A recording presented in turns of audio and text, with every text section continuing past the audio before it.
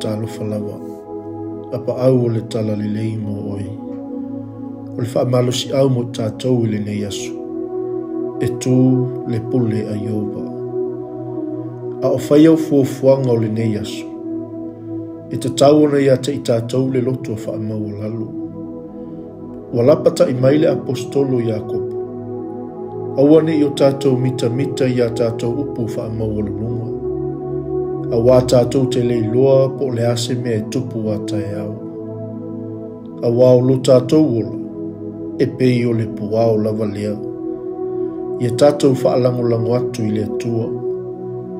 O lono winga, e tau tātou whape eifo, a fina ngalo iai le li, e tau nuu a tātou fuafuanga umo. E mawhai o na whaini au fuafuanga stelei.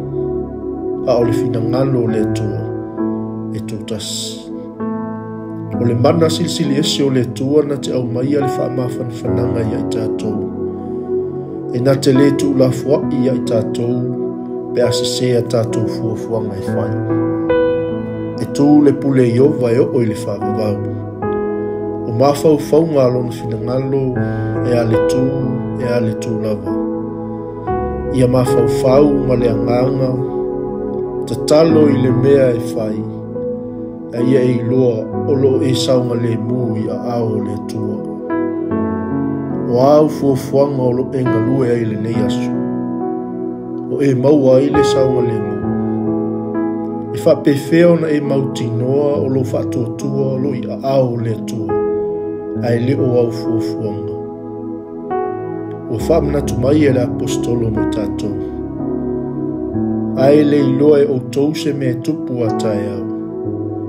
A wā se alo o tou ola, o le pua o lava leo. Wā li ali mai se i tu aso i titi, o na mō wai leo.